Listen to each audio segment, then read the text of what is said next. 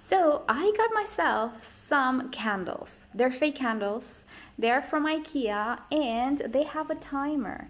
So cannot really show you right. Oh, maybe I can. On the back, you have a six hour timer. So what they do is when you turn them on, they will work for six hours, then they're gonna stop. And then the next day at the same hour you turned them on, they will turn on again. So they will do that every single day at the same hour. And you know what? I find them really pretty. They also shimmer a little bit, or I don't know how to call it. They do imitate a normal candle. I don't know if you can tell, but they do very, very gently.